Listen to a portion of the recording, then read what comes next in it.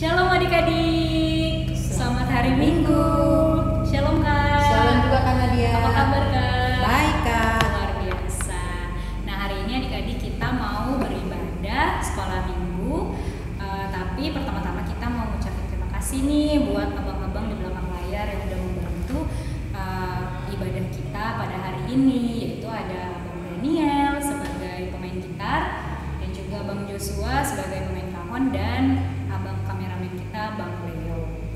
Nah kak, sebelum kita mulai ibadah kita, kita doa dulu kali ya kak ya. Iya Kak, kita berdoa. Iya. Mari kita berdoa.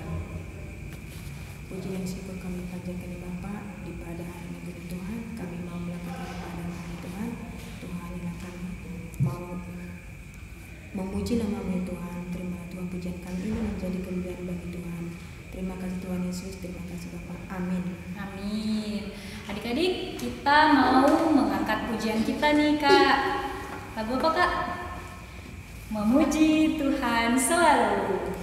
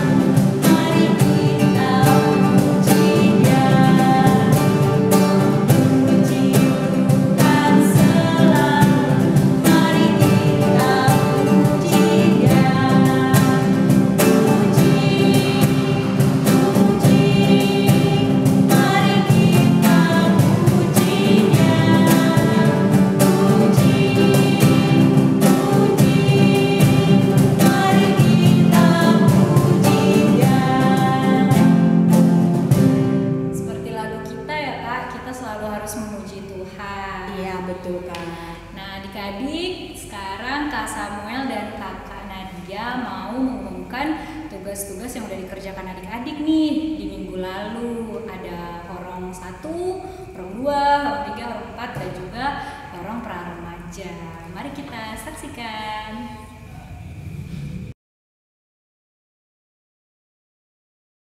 Titah ke-8 Jangan mencuri Titah ke-8 Jangan mencuri Titah ke-8 Jangan mencuri Ananias dan Safira tertulis di Kisah Para Rasul 5 ayat 1 sampai 11 Tokoh-tokohnya Ananias, Safira, Petrus, dan imam-imam. Nas, pada minggu ini, tanggal 31 Oktober 2021 tertulis dalam kitab Kisah Para Rasul 5 ayat 1 sampai 11. tokoh-tokohnya Saf- Safira, Ananias, Petrus, dan imam-imam. Terima kasih. Shalom. Ada seorang yang bernama Ananias dan istri yang bernama Safira yang menjual sebidang tanah. Dengan setahu istrinya, ia menahan sebagian dari hasil penjualan itu. Hasil yang diberikan ke Rasul hanya sebagian, tidak semuanya. Lalu Petrus datang menanyakan, benarkah kamu menjual harga tanah sekian? Ya, sekian. Lalu Petrus menanyakan lagi, kamu bukan mendustai aku, tapi kamu mendustai Allah. Kisah Ananias dan Safira Ada sepasang suami istri yang bernama Ananias dan Safira. Mereka menjual sebidang tanah, tetapi mereka mendustai dan membohongi Roh Kudus dengan menahan sebagian hasil penjualan tanah itu. Ananias dan Safira merupakan suami istri yang tinggal yang tinggal dan dijadikan bagian gereja mula-mula di Yerusalem. Ada seorang yang bernama Ananias dan istrinya yang bernama Safira yang menjual sebidang tanah. Dengan setahu istrinya, ia menahan sebagian dari hasil penjualan itu dan yang lainnya dibawa dan diletakkannya di depan kaki rasul-rasul.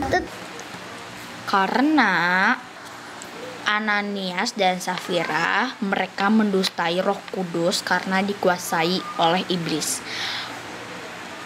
Harta hasil penjualan tanahnya tidak diberikan seluruhnya sebagai persembahan di dekat kaki Rasul Petrus. Suami istri ini berkomplot untuk berdusta. Diketahui oleh siapa pun yang hanya diketahui oleh aku dan Tuhan saja itu adalah menghilangkan sendal dan juga memecahkan piring dan sudah. Terima kasih. Pertama aku sudah bohong orang tua. Masalah nilai pelajaran di sekolah. Yang kedua aku telah berbohong pada orang tua. Kalau aku tidak menjaga adik dengan benar. Sekian terima kasih. Selama ini karena mengambil duit nama di dalam lemari tanpa izin dan pernah bohong soal nilai. Wah, tadi kita sudah lihat ya kak ya. Iya, bagus ya, Kak. Bagus ya dari orang satu sampai orang remaja. Eh, kakak guru sekolah minggu dan abang guru sekolah minggu mengucapkan terima kasih nih buat adik-adik yang udah mengerjakan tugas. Untuk adik-adik yang belum mengerjakan tugas, selanjutnya bisa ikut mengerjakan tugas ya. Lebih rajin lagi ya kak ya? Iya, biar lebih rajin lagi. Iya. Biar semakin seru nih di pada sekolah minggu ya kak ya.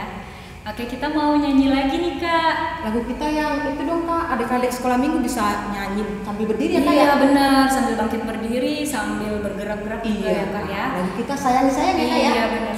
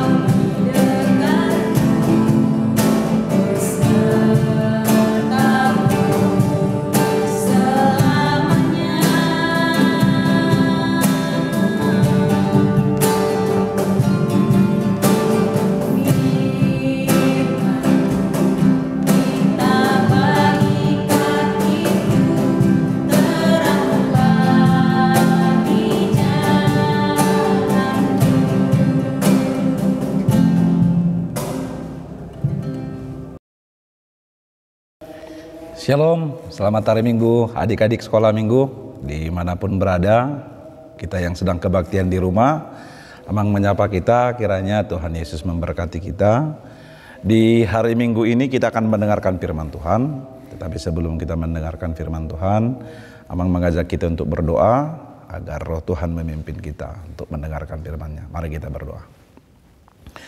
Bapa di dalam surga, kami bersyukur untuk hari Minggu ini, hari yang kau kuduskan. Tuhan berikan kami sukacita, Tuhan berikan kami juga kesehatan dan kekuatan. Tuhan memanggil kami, anak-anak mau sekolah minggu, dalam ibadah sekolah minggu pada hari minggu hari ini. Sebentar kami mau mendengarkan firman Tuhan. Kiranya Tuhan menolong kami, supaya kami mengerti, memahami, dan bahkan kami boleh rindu untuk melakukan firman-Mu dalam hidup kami. Terimalah doa kami yang kami sampaikan di dalam Yesus Kristus Tuhan dan Juru Selamat kami yang hidup. Amin. Adik-adik yang dikasih Tuhan, sekolah minggu, firman Tuhan hari ini bagi kita tertulis dalam kitab Roma pasal 12 ayat yang pertama sampai dengan ayat yang kedua. Disediakan ya Alkitabnya, semua kan punya Alkitab kan? Nah, kita buka Alkitab kita sama-sama. Amang bacakan untuk kita dari Roma 12 ayat 1 sampai dengan ayat 2 demikian firman Tuhan. Karena itu saudara-saudara demi kemurahan Allah aku menasihatkan kamu supaya kamu mempersembahkan tubuhmu sebagai persembahan yang hidup, yang kudus dan yang berkenan kepada Allah.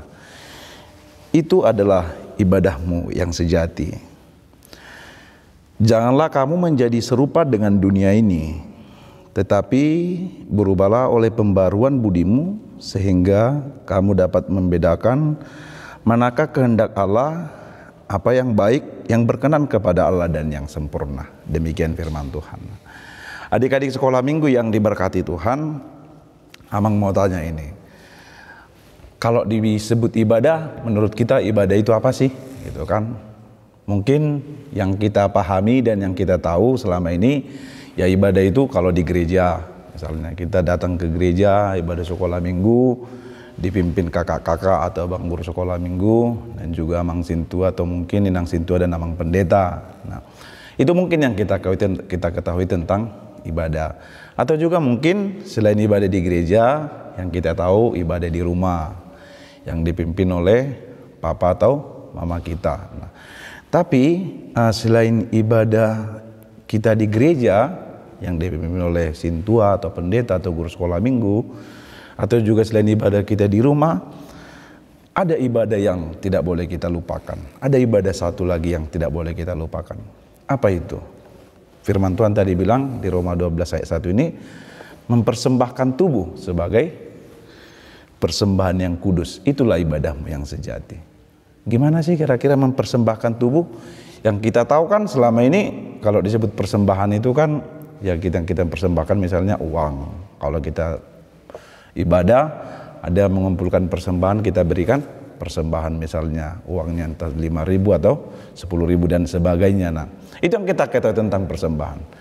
Tapi adik-adik yang dikasihi Tuhan, firman Tuhan hari ini memberikan lebih kepada kita.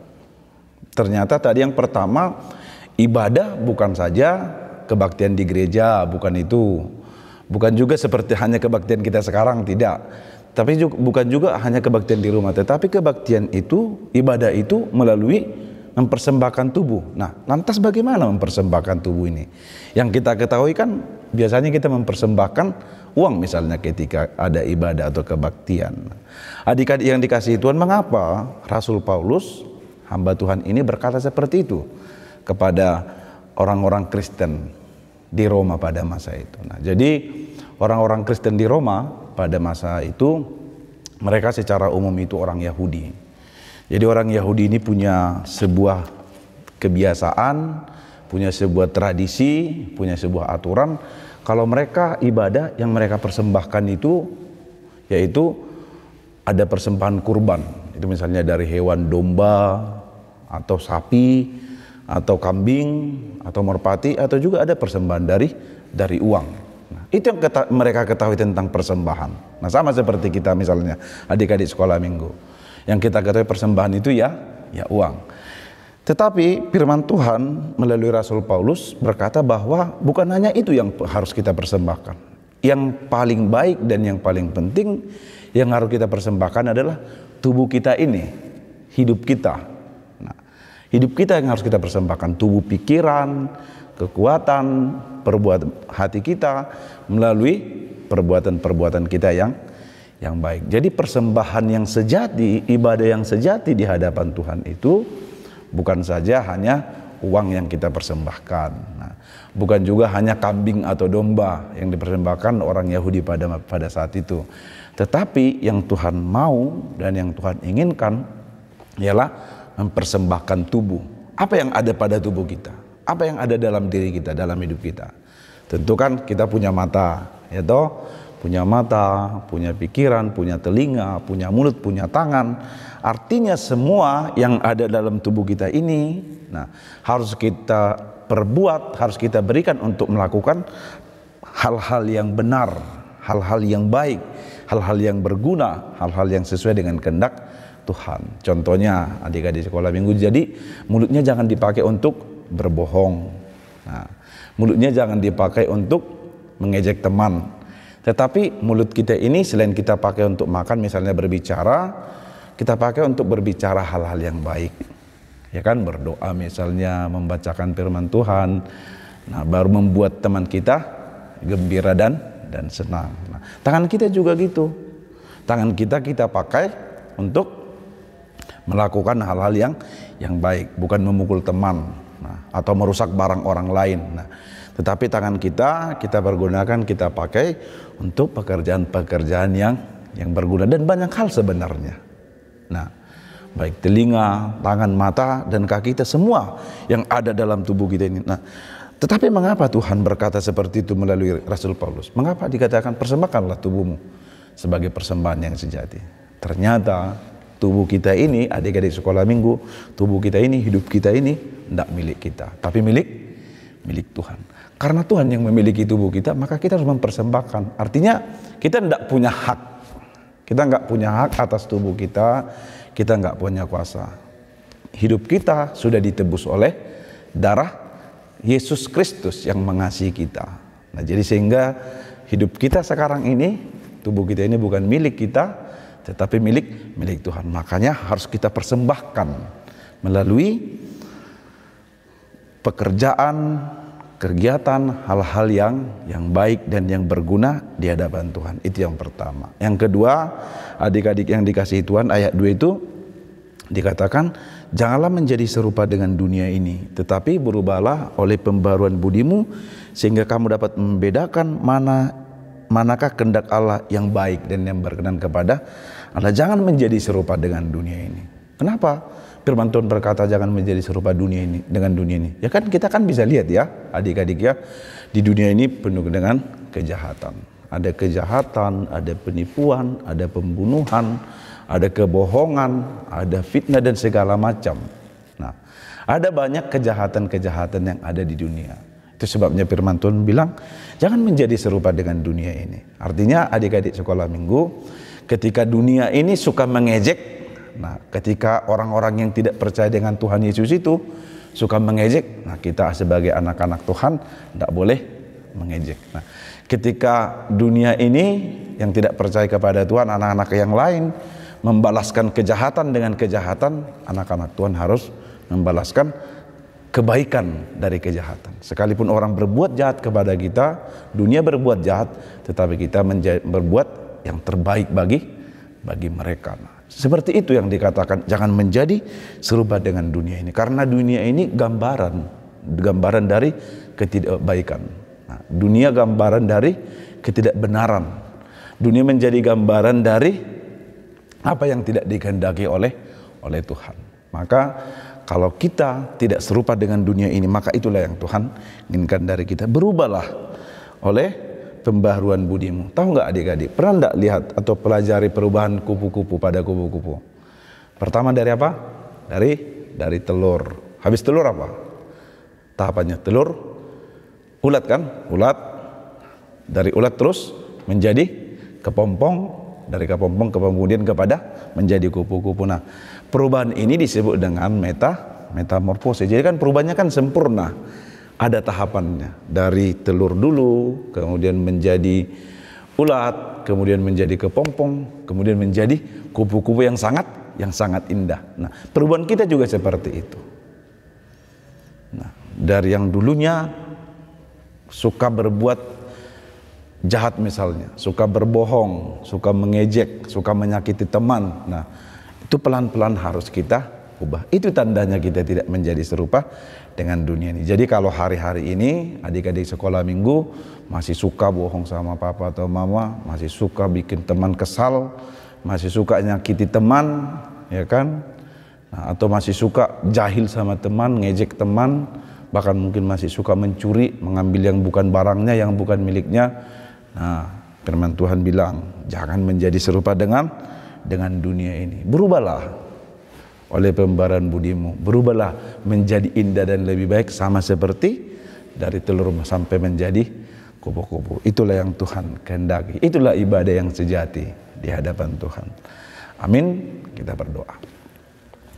Terima kasih Tuhan untuk firman-Mu yang sudah kami terima dan kami dengarkan. Kami bersuka cita karena Tuhan telah menebus kami, hidup kami, diri kami, tubuh kami tidak lagi menjadi milik kami tetapi milik Tuhan sepenuhnya.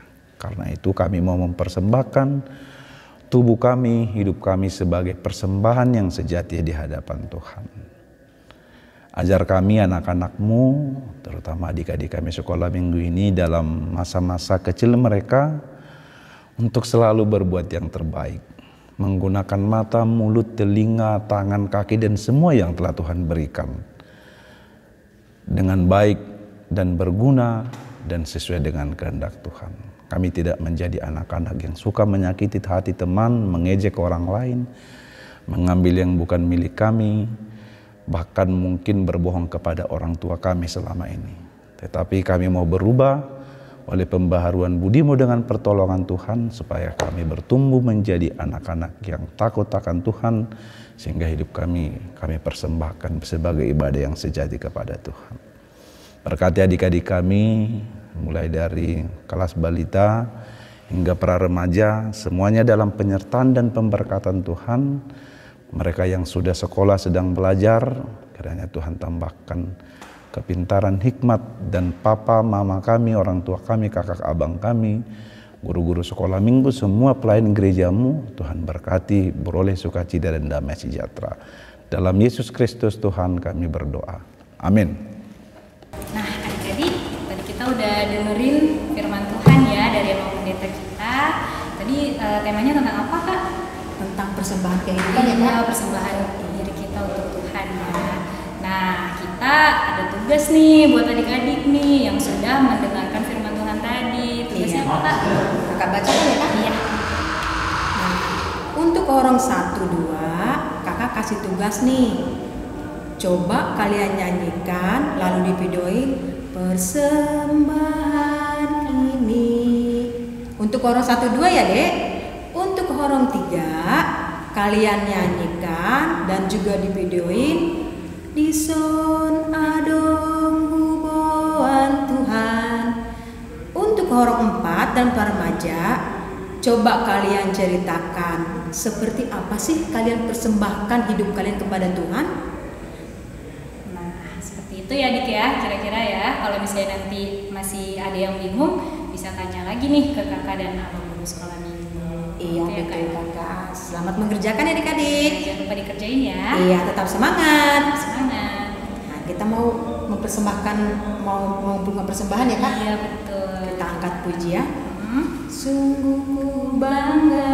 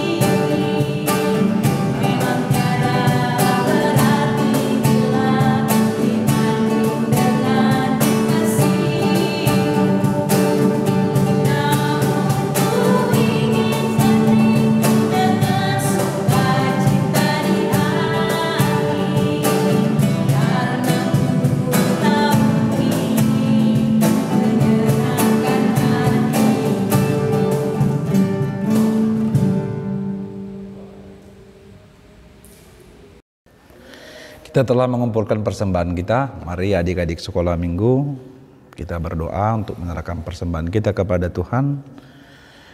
Kita satukan hati, kita berdoa.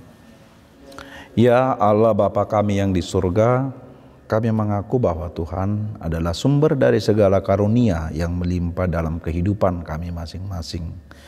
Sebahagian daripada karunia itu kami serahkan kembali sebagai persembahan kepada Tuhan. Terimalah dan berkatilah persembahan umatmu ini agar dapat kami pergunakan untuk pekerjaan dan pelayanan kerajaan Tuhan di dunia ini. Bukalah hati kami untuk mengenal betapa banyak berkat dan karunia yang kami peroleh dari Tuhan.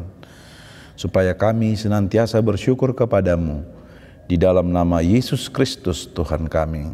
Amin. Kita bersama-sama berdoa di dalam doa Bapa kami.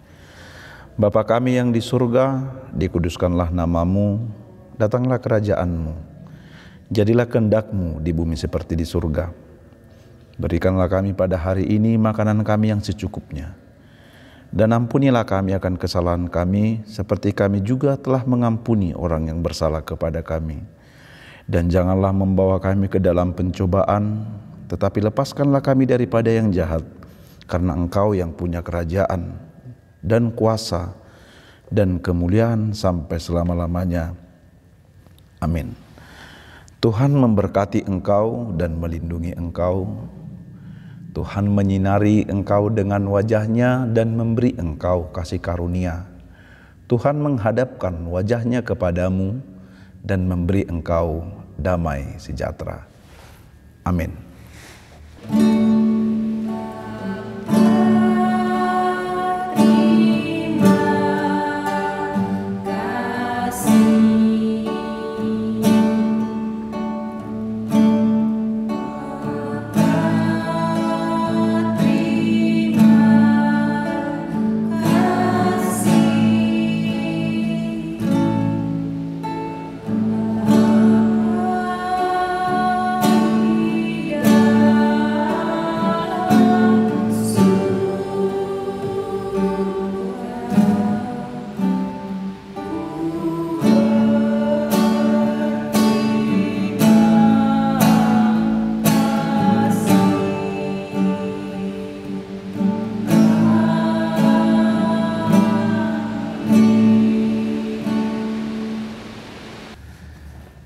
Selamat hari Minggu, adik-adik yang dikasih Tuhan kami dari kakak dan abang guru sekolah minggu, abang pendeta, dan juga abang kita dari tim multimedia yang melayani kita menyampaikan selamat hari Minggu bagi kita semua.